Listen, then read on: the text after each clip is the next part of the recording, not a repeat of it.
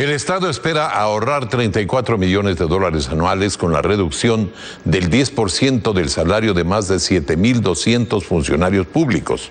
Así lo anunció el ministro del Trabajo, Raúl Ledesma.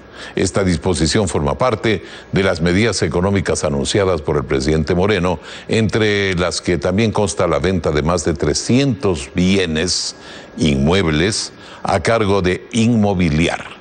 Juan Carlos Esprúa nos tiene pormenores.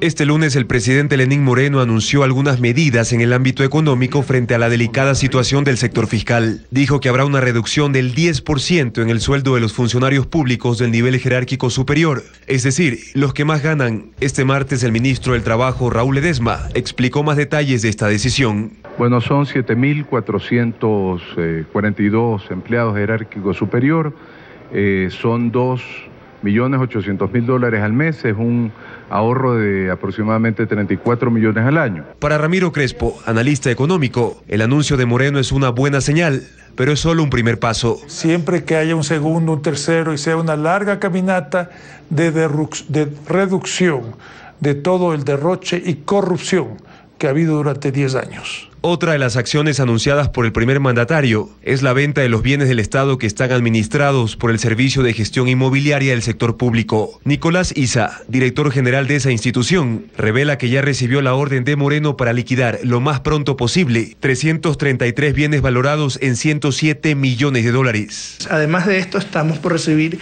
300 bienes más que sumarían más de 200 millones de dólares, que es lo que vamos a intensificar para que puedan ser ofrecidos a la ciudadanía y a todos los que estén interesados. Tenemos todo tipo de bienes, tenemos terrenos, tenemos propiedades, oficinas, parqueaderos. Crespo cree que no habrá compradores inmediatos por la situación económica que afronta el país. Sin embargo, espera que una vez que se lleven a cabo las operaciones de venta, haya la suficiente transparencia. Puesto todo en páginas web, que la gente pueda tener tiempo de ver, apreciar su valoración ir a visitar las propiedades y tratar de verlas de tal manera que se pueda hacer una verdadera competencia. El presidente Moreno ordenó también la venta de uno de los aviones presidenciales y de los vehículos de lujo del gobierno. Aún no se conoce cuánto aportarán estas transacciones a la caja fiscal.